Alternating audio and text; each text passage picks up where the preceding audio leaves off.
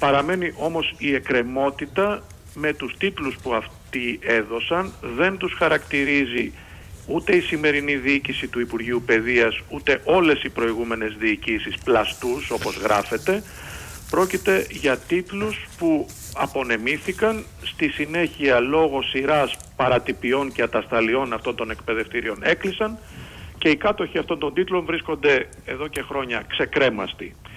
Ε, υπάρχει... Κύριε Κατσαρέ, εδώ θέλω να σας ρωτήσω κάτι, γιατί από ό,τι μας είπε και ο κύριος Κάτσικας χτες που ξέρει πολύ καλά το ρεπορτάζ, ναι. αποδείχτηκε ότι αυτοί οι άνθρωποι δεν πηγαίναν καν να φοιτήσουν σε, σε αυτές τις σχολές. Παίρνανε, ναι, ναι, ναι. πληρώνανε και παίρνανε το δίπλωμα. Οι παρατυπίες και οι παρανομίες είναι αυτό που λέμε καραμπινάτες, δεν υπάρχει καμία αμφιβολία. Πλην όμως, ε, ενώ έγινε μια υποτυπώδης έρευνα για τις ευθύνες των σχολαρχών και όλα αυτά τα πράγματα, τους αφαιρέθηκαν οι άδειες, αλλά όλοι αυτοί έπεσαν στα μαλακά λόγω παραγραφής των πλημελημάτων τους. Και τώρα έχουν αποδοθεί ως λευκές περιστερές στην κοινωνία και όλοι οι εμπλεκόμενοι. Ε, δεν διενεργήθηκε τότε καμία απολύτως δικαστική έρευνα σε βάρος των σπουδαστών, έφηβοι ήταν όλοι αυτοί τότε και των οικογενειών τους. Με αποτέλεσμα να μην υπάρχει για κανέναν αυτή τη στιγμή γνώση μέσα από δικαστική διερεύνηση ποιος ήταν ο συγκεκριμένος τρόπος εμπλοκής του σε αυτή την υπόθεση. Οι αετονίχιδες λοιπόν έχουν ουσιαστικά γλιτώσει χωρίς καμία κύρωση. Οι εμπλεκόμενοι, γιατί και εγώ νομίζω, δεν έχω καμιά αμφιβολία ότι υπήρξε συναλλαγή κατά το κοινό λεγόμενο μεταξύ όλων αυτών των ε, σπουδαστών και των οικογενειών τους και των σχολαρχών αυτή τη στιγμή κατέχουν τίτλους όμως δεν έχει διερευνηθεί ποτέ δικαστικά ε, τι, ε, σε τι ευθύνεται ο καθένας από αυτούς προσωπικά. Και κατ' επέκταση όλα αυτά τα τυχόν αδικήματά τους έχουν βεβαίως παραγραφεί μετά από 10-15 χρόνια. Ε, άκουσα προσωπικά την κυρία Μαριέτα Γιαννάκου σήμερα που έλεγε ότι έπρεπε ο νόμος, τότε μόλις έφυγε εκείνη, ότι από το 2007, από το Σεπτέμβρη νομίζω έπρεπε να εφαρμοστεί και δεν εφαρμόστηκε ποτέ. Είναι αυτό που καμιά φορά λέμε τη γαρχρή ανέχομεν μαρτύρων. Είναι ακριβώς όπως τα είπε η κυρία Γιαννάκου, οι κυβερνήσεις του ΠΑΣΟ και της Νέας Δημοκρατίας, οι υπουργοί που διαδέχτηκαν την κυρία Γιαννάκου, η οποία έκανε μια σοβαρή προσπάθεια γύρω από το θέμα και μάλιστα η γυναίκα ετοίμασε και μια συγκεκριμένη νομοθετική ε, ρύθμιση. Δεν έκαναν απολύτως τίποτα επί 8-9 χρόνια με αποτέλεσμα να κακοφορμίζει αυτό το πρόβλημα. Δεν πρόκειται για 2.500 να διαψεύσω και αυτόν τον διακινούμενο μύθο που είναι διορισμένοι στο δημόσιο. Εμείς επειδή προσπαθήσαμε από τότε που ο ΣΥΡΙΖΑ ανέλαβε τη, ε, τη διακυβέρνηση ε, να, να διερευνήσουμε και να διαλευκάνουμε την υπόθεση. Έχουμε λοιπόν 1.516 τίτλους που βρήκαμε από σχολεία της Σάρτας, της Λάρισας, των Τρικάλων, της Ανατολικής Θεσσαλονίκης, της Βιωτίας κλπ. Ε, δεν αντιστοιχούν τα πτυχία αυτά σε άτομα. Τα άτομα από ό,τι φαίνεται είναι γύρω στα 1350 περίπου. Δεν ξέρουμε ως Υπουργείο Παιδείας δεν είναι αρμοδιότητά μας πόσοι από αυτούς έχουν χρησιμοποιήσει αυτούς τους τίτλους για διορισμό στο δημόσιο. Όμως προσέξτε τι γίνεται. Επειδή δεν διενεργήθηκαν ποτέ οι εξετάσεις που έπρεπε να γίνουν σύμφωνα με τον νόμο Γιαννάκου, αυτοί οι άνθρωποι προσκομίζουν πολλές φορές αυτούς τους τίτλους, τους παράτυπους. Η διοίκηση και το ΑΣΕΠ αυτούς τους τίτλους τους θεωρεί απαράδεκτους και από εκεί και πέρα παραπέμπει την υπόθεσή τους μέσω διαθεσιμότητας αργίας για περαιτέρω διερεύνηση.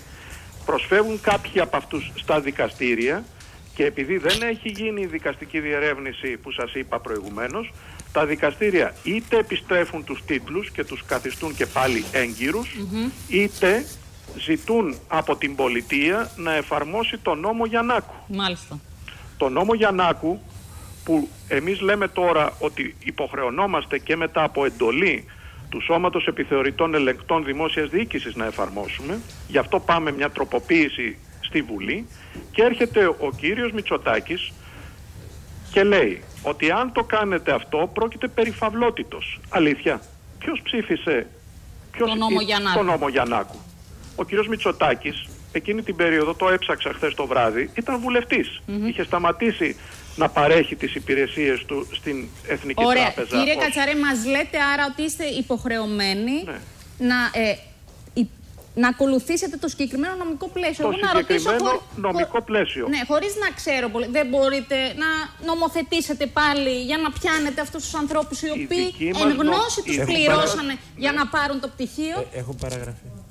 Σας είπα ότι το αδίκημα σε ό,τι αφορά Έχει ένα-ένα παραγραφεί. τα συγκεκριμένα αυτά πρόσωπα έχουν παραγραφεί. Μάλιστα, ωραία. Δες μου, Α, μια Αυτό ερώτηση. το Ναι, οποίο ναι. λοιπόν λέμε, επειδή υπάρχει και αυτός ο θόρυβος και αυτές οι, οι ανήκουστες επιθέσεις του κυρίου Μητσοτάκη περί φαυλότητος για ένα νόμο που ο ίδιος έχει ψηφίσει, δεν Αλλά εμείς καταλάβαινε δεν τι λέμε τώρα τι λέει ψήφισε ο κ. τότε. Μητσοτάκης. Ρωτάμε εμείς σαν άνθρωποι οι οποίοι Σωστά, ακούμε σωστά, αυτό σωστά, το σωστά. πράγμα και λέμε γιατί λέμε. δηλαδή αυτοί που, Και λέμε, που, που ελάτε- εν γνώση τους χρησιμοποίησαν, εξαπάτησαν σωστά. το κράτος να μένουν τώρα στις δουλειές τους Πολύ και άλλοι σωστά. να είναι άνεργοι. Αυτό Όπως λέμε. ξέρετε, Με οι πτυχία. τίτλοι σπουδών στο κράτος δικαίου στο οποίο ζούμε Ναι. αφαιρούνται είτε από την εκδούσα αρχή είτε από τα δικαστήρια. Δεν υπάρχει τρόπος ο Φίλης, η Γιαννάκου, ο Μητσοτάκης, οποιοδήποτε να πάει και να αφαιρέσει με, δι- με δικτατορικό τρόπο τα πτυχία. Αυτή τη στιγμή ε, η δική μας νομική διερεύνηση του θέματος συμπίπτει με τη νομική διερεύνηση που καλώς έκανε τότε η κυρία Γιαννάκου. Λέμε ακριβώς το ίδιο πράγμα. Λέμε όμως ταυτόχρονα και κάτι ακόμη.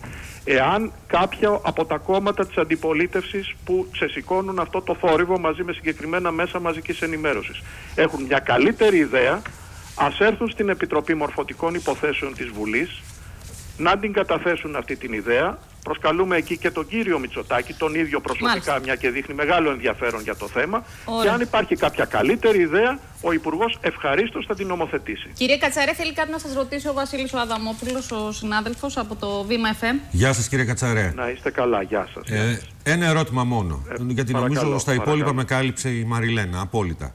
Σ- Σκοπεύετε να νομοθετήσετε το τι θα συμβαίνει από εδώ και πέρα εάν ξαναεμφανιστούν άνθρωποι με πλαστά πτυχία ή εν πάση τόση τέτοιου είδους πτυχία στο δημόσιο. Δηλαδή θέλω να πω ότι μπορεί στο μέλλον να υπάρξει μια ανάλογη φάμπρικα. Ε, σκοπεύετε να κρατήσετε στην ε, ενέργεια για τη διαχείριση του ζητήματος τυχόν μελλοντικών τέτοιων προβλημάτων τον νόμο Γιαννάκου ή να νομοθετήσετε κάτι πιο αυστηρό; Αυτή τη στιγμή συζητάμε για το συγκεκριμένο θέμα. Το δημόσιο, το είπα και προηγουμένως, και μέσω του ΑΣΕΠ και μέσω του ελέγχου που, που ασκούν οι υπηρεσίες όταν ο επιλεγής από το ΑΣΕΠ πάει για να πιάσει εργασία, γίνεται διπλός έλεγχος στα πιστοποιητικά στο δημόσιο. Ένας από το ΑΣΕΠ και ένας από την υπηρεσία όταν ο, ο, ο, ε, αυτός που έχει επιλεγεί από το, ΑΣΕΚ, από το ΑΣΕΠ πάει να πιάσει δουλειά σε οποιαδήποτε εργασία. Όλα αυτά παραπέμπονται. Δεν υπάρχει καμία αμφιβολία. Και από τα συγκεκριμένα έχουν παραπεμφθεί για την πλαστότητα, ας την πάνω ονομάσουμε. στο Απλά πρακτικό. ξέρετε τι, εκείνο, αφού θέλετε να μείνουμε στη συγκεκριμένη περίπτωση να μείνουμε, εκείνο το οποίο ξενίζει σε πάρα πολύ κόσμο, και εγώ αφήνω έξω το Μητσοτάκι, τα μέσα Ναι, ενημέρωσης. ναι, αφήστε τα έξω, έχετε Ναι, δίκιο. λοιπόν, ε, εκείνο που ξενίζει σε πάρα πολύ κόσμο είναι ότι χθες βγήκε η ΑΔΔ. Την είδατε την ανακοίνωση Πείτε της μου. ΑΔΔ. Η οποία ήταν μια πολύ σκληρή ανακοίνωση. Είπε ότι δεν έχουν καμία θέση στο δημόσιο όσοι έχουν πάρει μέρος σε αυτή τη φάμπρικα. Λοιπόν, ε, το συνδικαλιστικό όργανο των δημοσίων υπαλλήλων δείχνει να είναι πιο αυστηρό απέναντι σε αυτού του είδους τα φαινόμενα από την η κυβέρνηση. Κοιτάξτε, ο συνδικαλιστικός φορέας ο οποίος πάλεψε το ζήτημα εδώ και 15 χρόνια με αλλεπάλληλες προσφυγές όταν οι πολιτικές ηγεσίες κόφευαν ήταν η ΟΗΕΛΕ, η Ομοσπονδία Ιδιωτικών Εκπαιδευτικών Λειτουργών Ελλάδας και ο πρόεδρος της ο κύριος Κουρουτός, δεν ξέρω αν τον έχετε φιλοξενήσει. Βεβαίως. Λοιπόν, ο κύριος Κουρουτός, επειδή είναι σαφής, λέει ότι ουσιαστικά δύο υπουργοί ασχολήθηκαν σοβαρά με το θέμα. Η κυρία Γιαννάκου τότε και ο κύριος Φίλης τώρα. Και κακώς κατηγορούνται αυτοί για όλη αυτή Μάλιστα. την δυσόδη υπόθεση και μάλιστα με όρους φαυλότητας όπως είπα προηγουμένως και όλα αυτά. Λοιπόν, αυτή είναι η πραγματικότητα. Ο, η, η, η Ομοσπονδία η οποία ασχολήθηκε επί 15 χρόνια ήταν η ΟΗΕΛΕ. Η ΟΗΕΛΕ, η ΟΗΕΛΕ συμφωνεί αυτή τη στιγμή με τις κινήσεις που κάνει το Υπουργείο και θέλουμε υπόδειξη είτε από την ΑΔΔ, είτε από τη Νέα Δημοκρατία, είτε από όλους όσοι αναφέρονται σε αυτό το θέμα, συγκεκριμένη και τεκμηριωμένη νομική θέση επί του θέματος και εμείς αυτή την τεκμηριωμένη και νομική θέση θα την υιοθετήσουμε, θα αντικαταστήσουμε τον νόμο Γιαννάκου και θα κάνουμε αυτό που θα μας πούν. Δεν έχουμε δει τεκμηριωμένη νομικά θέση μέχρι στιγμής. Ευχαριστούμε πολύ κύριε Κατσαρέ. Ήσασταν πολύ σαφεί και χρειαζόταν αυτή η διευκρίνηση. Ευχαριστούμε πολύ. Γεια σας.